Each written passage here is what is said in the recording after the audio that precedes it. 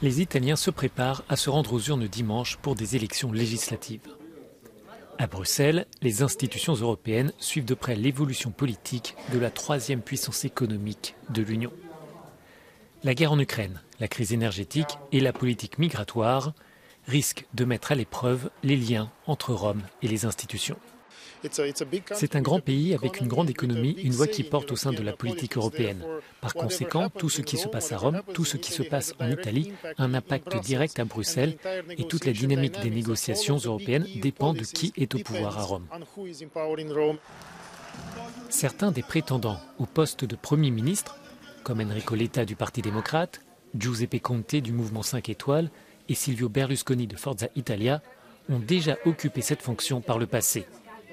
En revanche, Matteo Salvini de la Ligue et l'étoile montante de l'extrême droite, Giorgia Meloni des Frères d'Italie, apparaissent comme l'inconnu.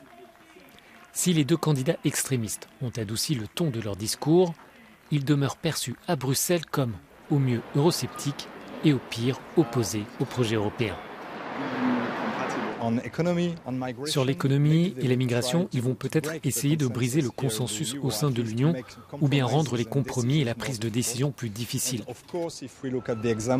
Bien sûr, si l'on prend l'exemple de la Pologne et de la Hongrie, lorsque la droite radicale arrive au pouvoir, l'état de droit et la démocratie sont remis en question. C'est un problème pour l'ensemble de l'Union européenne.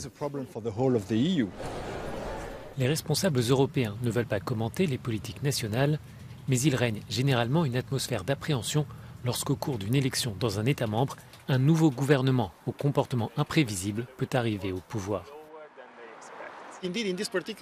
Dans le cas particulier de l'Italie, je pense que la bureaucratie et ce que l'on appelle la bulle européenne se sentiraient plus à l'aise avec les précédents gouvernements de centre-gauche, avec lesquels ils ont l'habitude de travailler. Un gouvernement mené par la droite pourrait adopter une approche plus nationaliste que ses prédécesseurs et pourrait être plus déterminé encore sur les questions de fiscalité européenne. Une coalition de gauche offrirait pour sa part des vues plus consensuelles avec les institutions européennes, mais quel que soit le nom du prochain Premier ministre italien, il ou elle devra discuter avec les responsables européens.